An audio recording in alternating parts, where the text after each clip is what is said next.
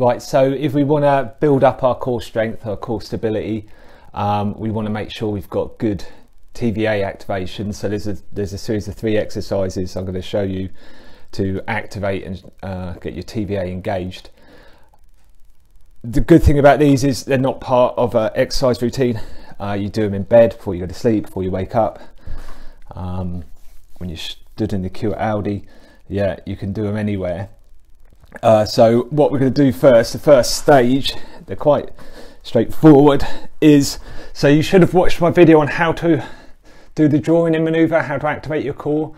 So what we're going to do is put find our ASIS, so reach round, find our bony prominence, sink our fingers in, and then what we're going to do simply is think about our belly button, draw it down to the floor and then up to our rib cage feeling for that contraction between our fingers and then we're going to hold for 10 seconds and then we would then relax for 10 seconds and then repeat 10 times. So it's 10 of 10 um, once you've felt you know the contraction and you're confident you know that you're activating your TVA you don't need to keep keeping your fingers there.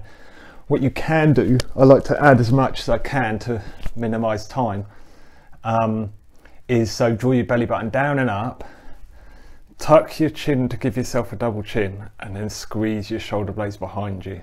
Okay, so then you're getting a bit of activation between your rhomboids and your middle and lower traps while doing your TVA. Okay, and these are all muscles which are prone to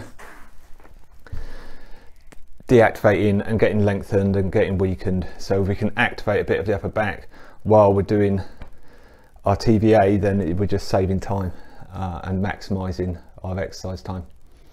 But that's it, 10 of 10, 10 seconds in and up, hold, breathe, make sure you breathe, and then 10 seconds relax, and then repeat. So for a further nine times.